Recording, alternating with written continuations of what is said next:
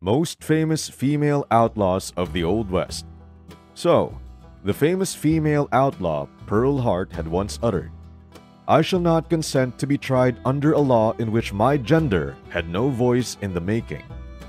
But despite her complaints, she was still sentenced to five years in prison. Surprisingly, just only after 18 months, she was pardoned, and you'll find the reason why at the end of this video. Without further ado, here are the most famous female outlaws of the Old West. Rose Dunn was famous for her beauty and became an outlaw after falling in love with George Newcomb, an outlaw member of the Wild Bunch Gang.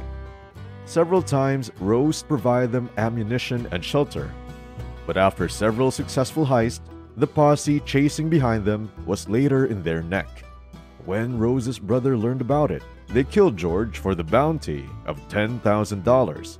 Though Rose was an accomplice of Wild Bunch, she was not arrested. Laura Bullion was raised in a life of crime because of her outlaw father. Later in her teenage, she became a prostitute and had a relationship with Ben Kilpatrick. Laura became the Rose of the Wild Bunch for providing supplies and even hiding and trading the loots of the gang. But as the group became infamous, Laura was identified and arrested with the loots in her possession. After three and a half years, she was released and lived as a law abiding citizen.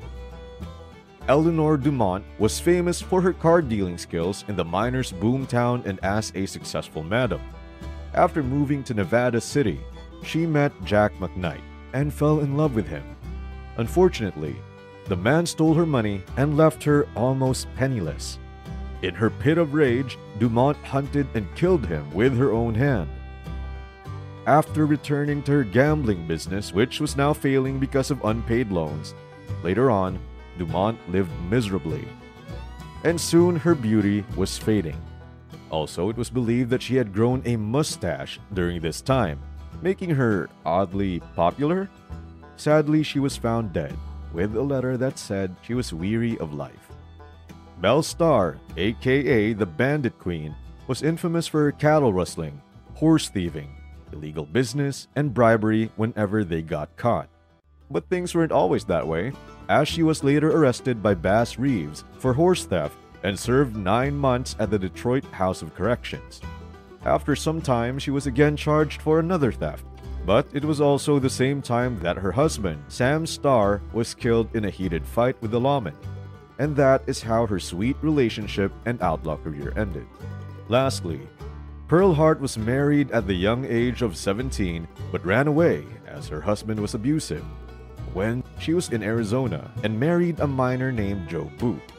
She and her husband committed numerous robberies, and the last one was a stagecoach that they found themselves caught three miles away from the crime scene while resting. She was later sentenced to five years in prison, but after 18 months, she was pardoned. Well, the shocking reason was that she unexplainably got pregnant during her stay in prison. And aside from the fact that the penitentiary could not accommodate her situation, it was rumored that the judge didn't want to complicate the incident and just released her instead. You've discovered the amazing photo collection of the most famous female outlaws of the Old West. Now click this and discover what does it take to be a Wild West beauty.